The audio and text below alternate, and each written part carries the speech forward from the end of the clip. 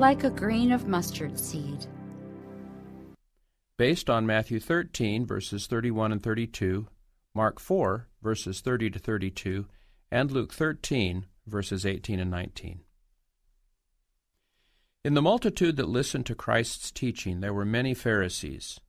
These noted contemptuously how few of his hearers acknowledged him as the Messiah, and they questioned with themselves how this unpretending teacher could exalt Israel to universal dominion. Without riches, power, or honor, how is he to establish the new kingdom? Christ read their thoughts and answered them. Whereunto shall we liken the kingdom of God, or with what comparison shall we compare it? In earthly governments there was nothing that could serve for a similitude. No civil society could afford him a symbol. It is like a grain of mustard seed, he said, which, when it is sown upon the earth, though it be less than all the seeds that are upon the earth, yet when it is sown groweth up, and becometh greater than all the herbs, and putteth out great branches, so that the birds of the heaven can lodge under the shadow thereof. The Revised Version.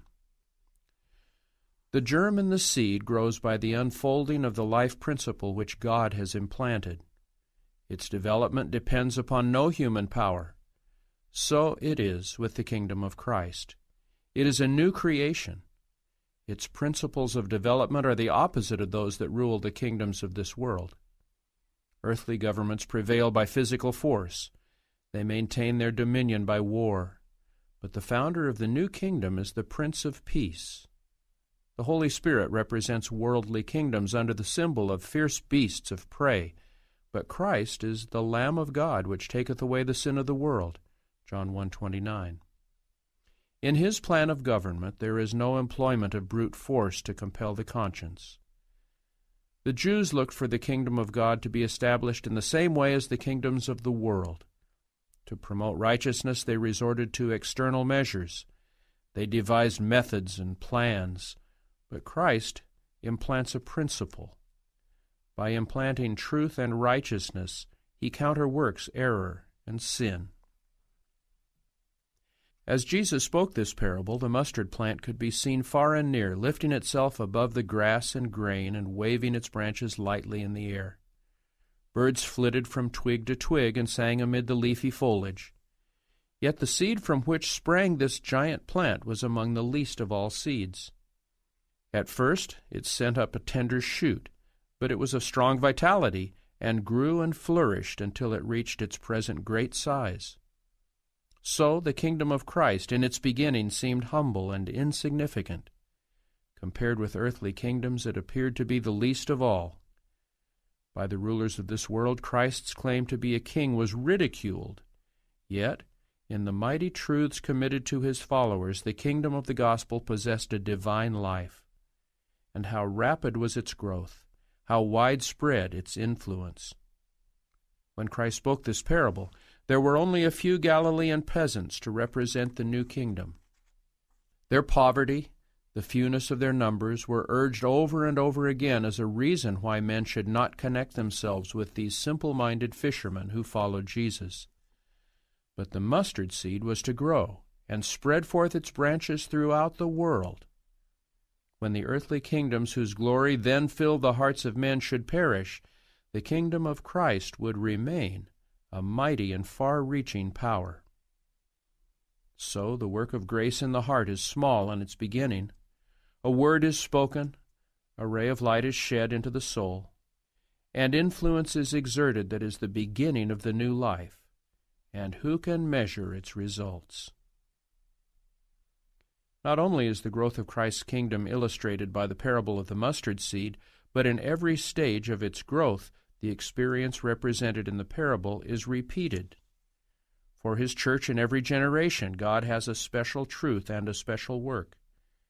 The truth that is hid from the worldly wise and prudent is revealed to the childlike and humble.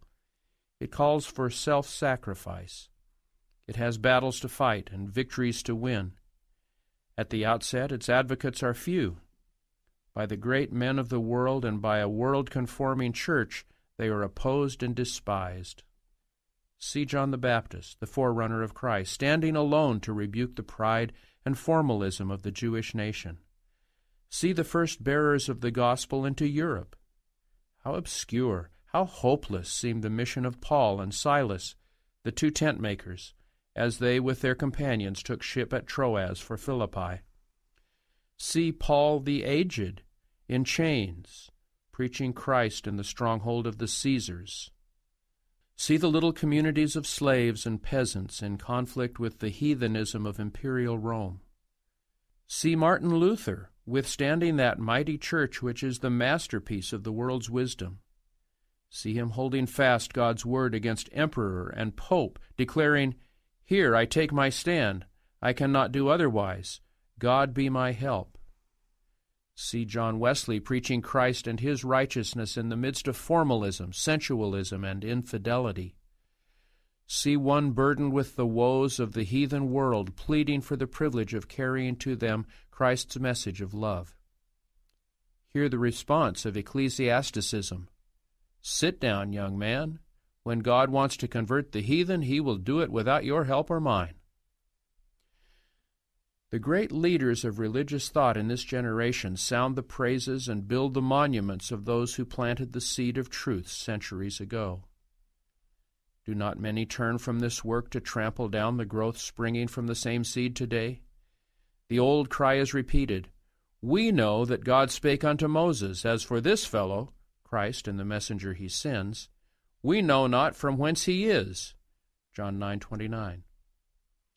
As in earlier ages, the special truths for this time are found not with the ecclesiastical authorities, but with men and women who are not too learned or too wise to believe the Word of God.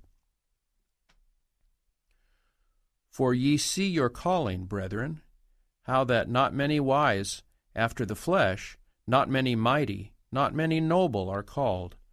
But God hath chosen the foolish things of the world to confound the wise and God hath chosen the weak things of the world to confound the things which are mighty.